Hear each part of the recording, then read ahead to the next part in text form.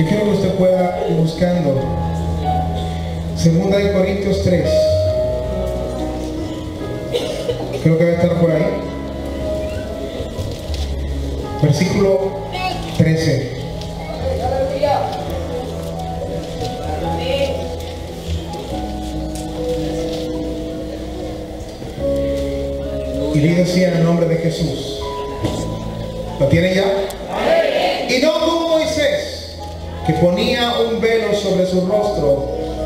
que los hijos de Israel no se fijaran, no fijaran la vista en el fin de aquello que había de ser abolido.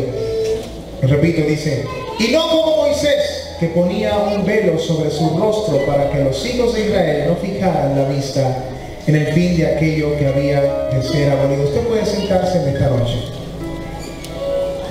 Mientras Yacer me ayuda con el piano y los muchachos de la banda, porque vamos a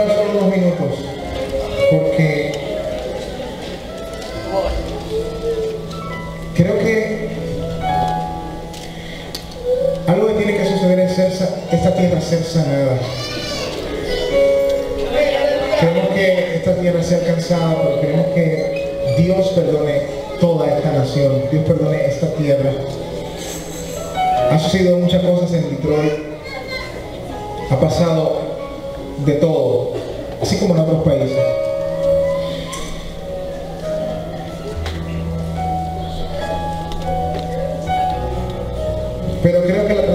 siempre va a empezar por las iglesias. Para que tengamos cielos abiertos, en algún lugar lo primero que tiene que haber gente que se haya arrepentido.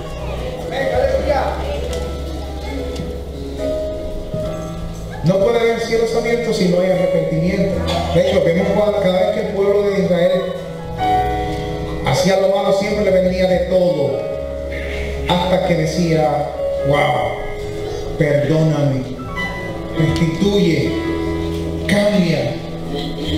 Nos humillamos. Pedimos porque nos transformes y nos perdones. Y entonces venía provisión y venían cielos abiertos. Y eran defendidos por, y eran, ah, eh, Dios peleaba las batallas por ellos. Y le daba las victorias. Y por eso a la, iglesia de lo siguiente. Todos en algún momento hemos querido aparentar cosas que no somos, ¿verdad que sí? Si no, fíjese, cuando yo me enamoré de esa negra que usted conoce, yo no le mostraba cosas que yo hacía en mi casa. ¿O qué, o qué varón hacía eso? Usted, pastor, su esposa ah, cuando era novia. No, pero déjame yo no meterme. Pero, pero ella se dio cuenta después, olvídese. Todos en algún momento quisimos aparentar algo que realmente no somos. Y, eso le dicen los psicólogos, creo que es el fenómeno del impostor. Todo el mundo en algún momento ha, sido alguien que no es. Si no imagínense, ¿cuántos se bañaron hoy?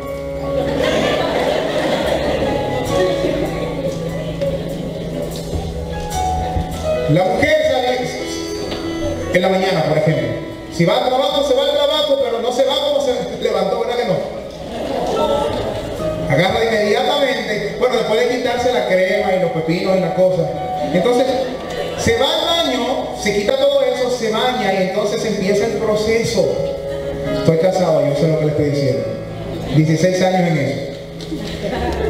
Se para el espejo y empieza a hacerse un tratamiento, una cosa, hidratación, qué sé yo qué, y luego viene entonces una, una base, y entonces viene un corrector, y después del corrector entonces viene...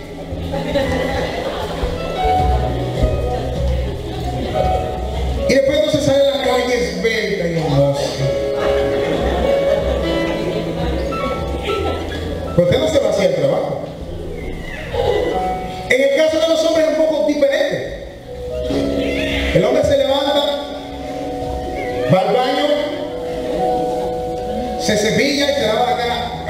Se olvida.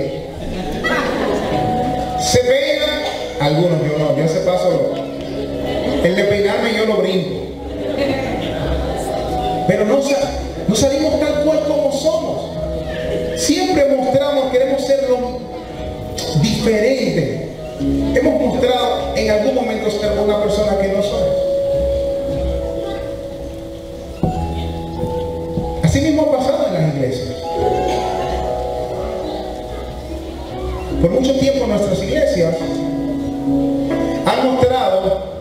una cara.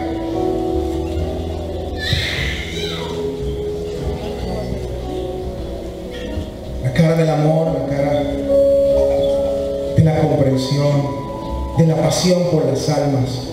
De que nos duele que alguien se pierda, que nuestro familiar se pierda, de que eso es lo que hemos mostrado muchas veces.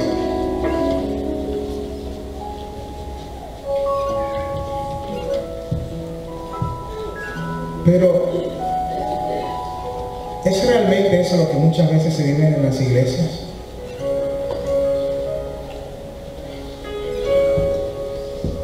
¿Amamos al prójimo realmente como nos dicen? Como la gente entiende que tenemos que amarlo.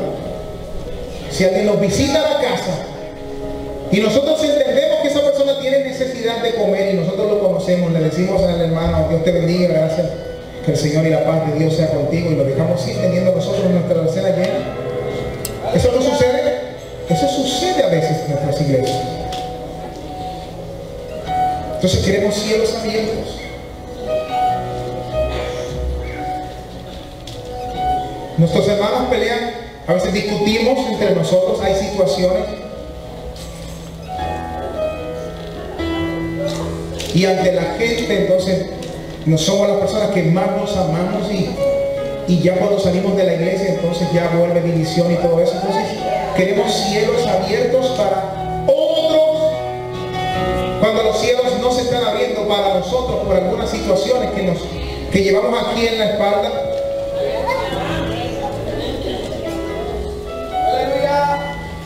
Y, es tiempo de que empecemos a tener la cara que el Señor quiere ante el mundo.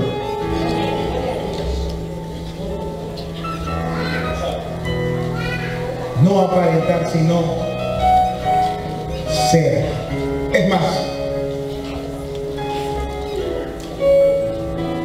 Me pasó algo, pastor, cuando yo ah, abrí mi maleta. Pero antes de decirle algo, por ejemplo, usted se fija, yo no tengo, yo no tengo complejo ¿Usted ve esa media, verdad que sí? Se ve bien, ¿verdad?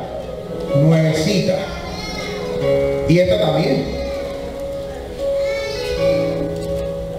Nuevecita. Y todo el que ve dice, wow, ese varón, unos zapatitos negros y una media que le. Pero mire lo que me pasó. Yo me voy a quitar el zapato. No huele mal.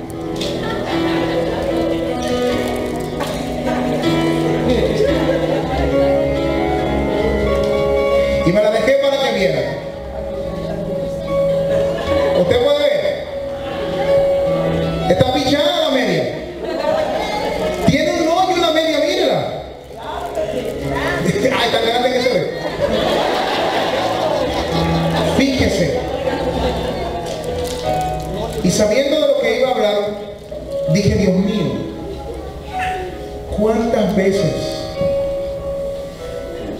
mostramos lo que realmente no somos. Y la gente dice, ese es un verdadero cristiano, ese tipo, esa, muchacha, es una verdadera sierva del Señor, pero estamos mostrando solamente lo que se ve. Y dentro entonces hay una cosa que la gente no puede ver.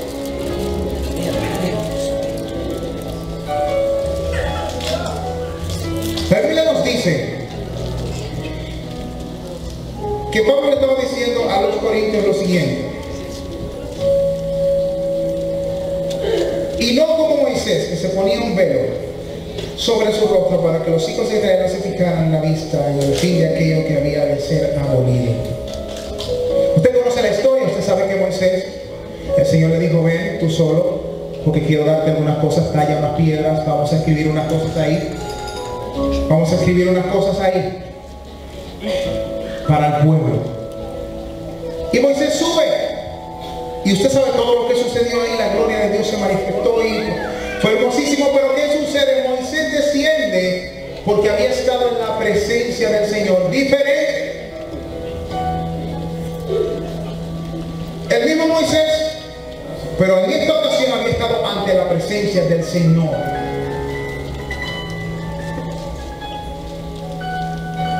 Y algo sucedió con Moisés, porque cuando la gente vio a Moisés dijo, algo sucede con este hombre, este hombre brilla porque no fue Moisés que subió.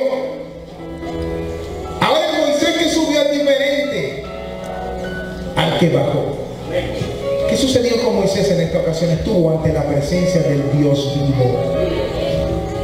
Una de las cosas que tenemos que, ver, que tener claro como iglesia para que los cielos se abran para alcanzar a otros es que la presencia de Dios se refleje en nosotros. Que la gente quiera y pueda identificar lo que hay en ti y quiera comer y quiera probar de lo que hay en ti. Pero eso no es simplemente metiéndonos todo el día al Facebook o al Instagram. Y a mí me encanta eso.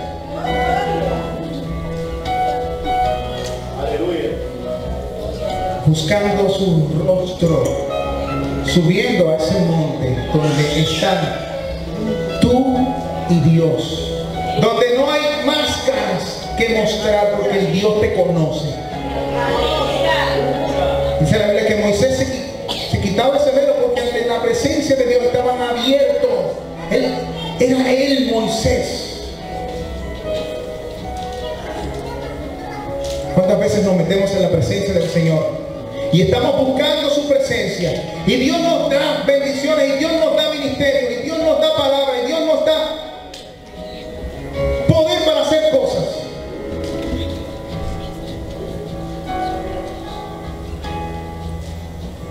Y nos metemos aquí en estas cuatro paredes solamente. Venimos a la iglesia. Y aquí estamos felices, aquí estamos bien mostrando el poder de Dios. Cuando el poder no es aquí dentro, el poder de Dios tiene que mostrarse afuera. Aquí adoramos para que su manifestación caiga sobre nosotros y hacia afuera. Entonces lo que ya tenemos aquí dentro, sacamos allá afuera. Pero nuestra, nos hemos puesto tan cómodos, por eso les dije, ¿eh? la gente ve de la iglesia una cosa, y eso tiene que ser a la par. Si decimos que amamos a nuestros hermanos, si amamos la vida, tenemos pasión por la vida, entonces ¿por qué no traemos gente todos los días a la iglesia? ¿Por qué no salimos a buscar corriendo a nuestro... Mira, crea estrategia para traer gente. Haga cosas.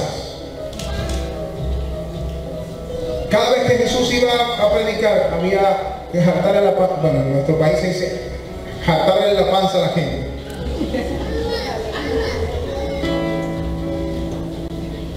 Sé cuál es la estrategia que usted tiene que buscar, pero yo sé que primero tiene que estar lleno del Espíritu Santo. Y luego entonces, buscar estrategias para alcanzar la vida y que vengan, para que sean transformados.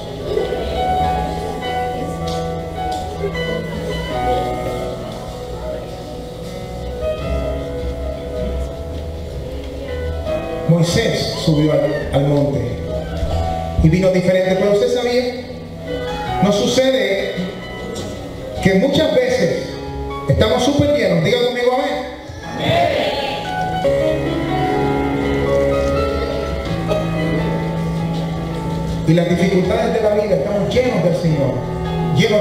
Subimos al monte y nos llenamos. Y estamos botando fuego. Y la luz brilla en nosotros. Y es tan fuerte que tenemos que ponernos cosas encima. Porque el poder está rebosando. Y llegan las dificultades, llegan las situaciones, llegan los problemas.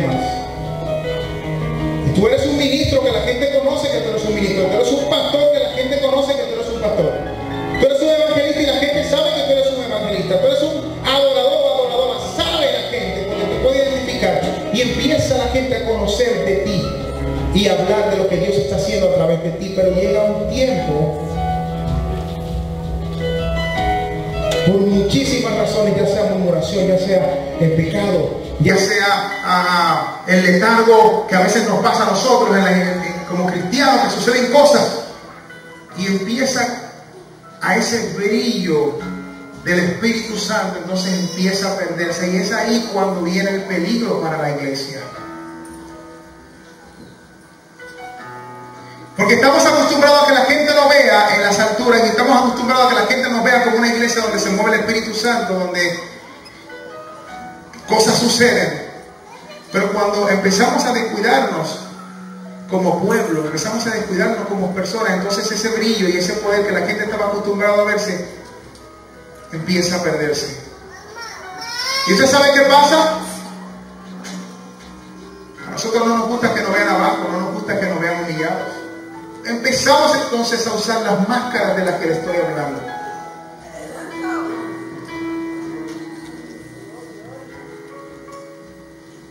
nos ponemos caretas y no llegamos a, a entender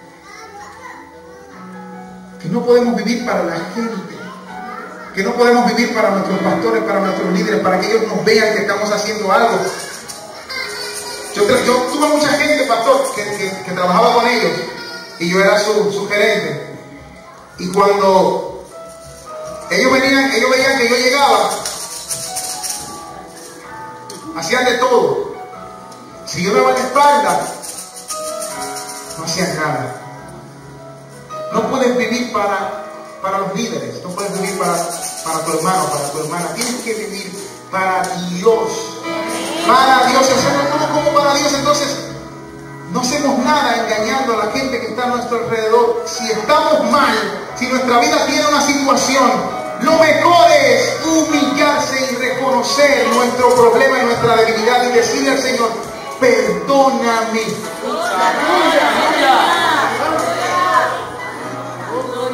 Porque mientras tienen la máscara puesta, y eso siempre, eso, eso hasta en los tiempos antiguos se, se utilizaban las máscaras para protestar, para que no lo vean, se, se, ponían a hacer teatro, y cuando venían los soldados, entonces ellos se iban, se quitaban las máscaras y eran otras personas.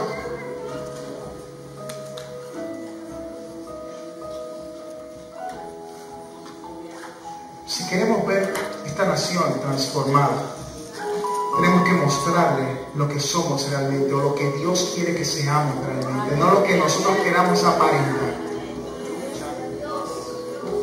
Así que mientras no reconozcamos que tenemos debilidades como iglesia, que tenemos situaciones que resolver como iglesia, que no tengamos claro eso, que tengamos la determinación de decir, esto tiene que ser corregido.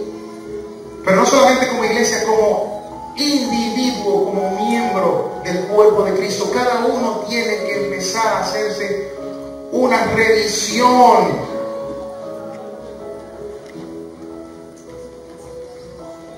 Yo tenía una situación con mi vehículo antes de venir para acá.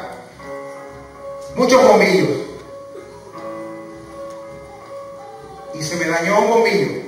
Y me, empezó a marcar inmediatamente la direccional unos ríos, rápido, Y ese bombillo empezó a dañarme otro bombillo. Y al final tuve que cambiar todos los bombillos de la, de la, de la guagua.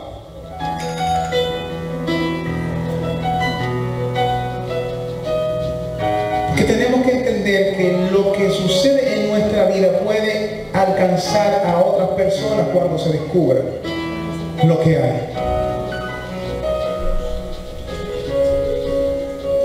¿Qué sucede ahora mismo que? ¿Por qué mucha gente no se convierte al Evangelio?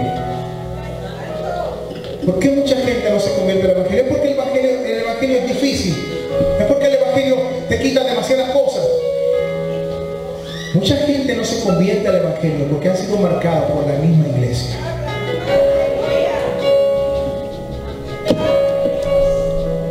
Y han sido marcados por miembros de nuestra iglesia. Gente que ha sido bien dolida, bien herida por la iglesia.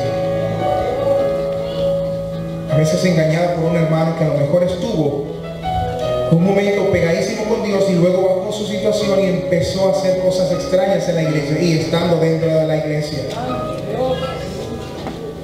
Entonces tenemos que pensar nosotros como pueblo, ¿qué es lo que está pasando que no hemos alcanzado y que los cielos no se han abierto para el lugar donde estamos? Gloria a Dios.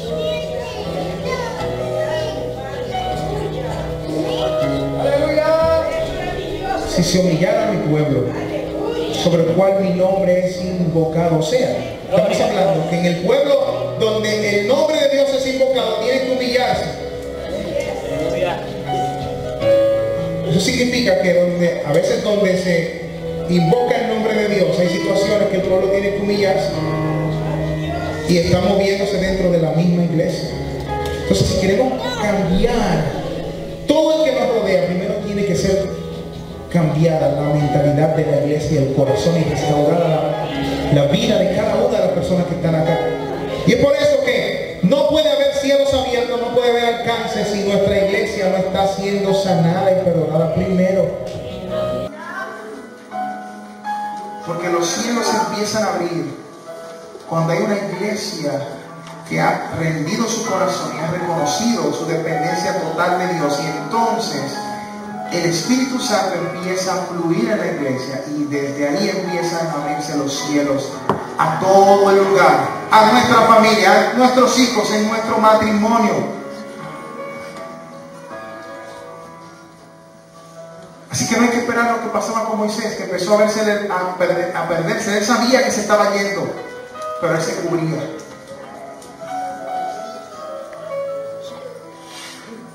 Porque la gente vio en principio ese poder y eso que había hecho la presencia del Señor en Moisés.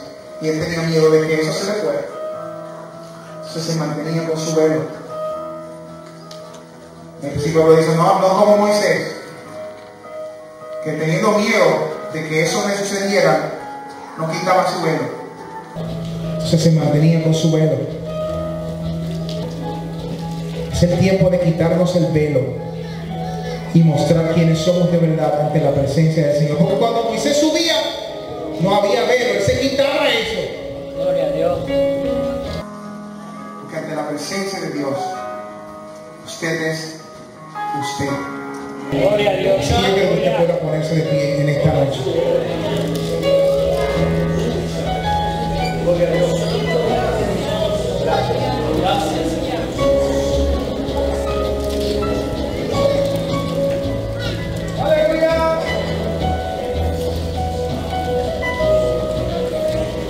Cambio, primero cambiemos nosotros.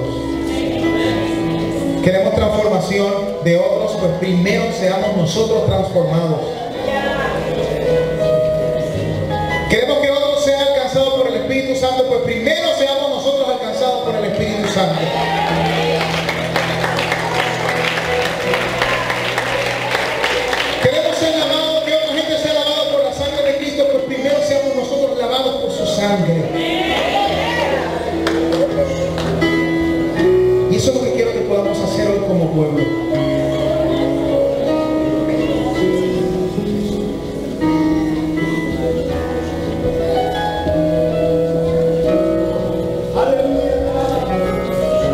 Lo que dice en Segunda de Crónicas 7:14. Si se humillara en mi pueblo, sobre el cual mi nombre es invocado, y oraren y buscar en mi rostro y se convirtieran de sus malos caminos, entonces yo iré desde los cielos y perdonaré sus pecados y sanaré su tierra.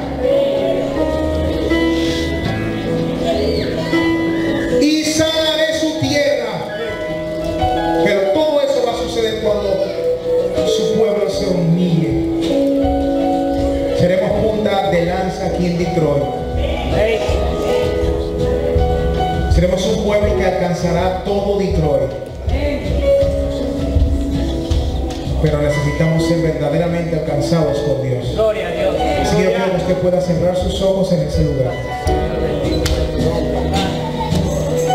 Y en esta noche pueda presentarse ante Dios Todopoderoso.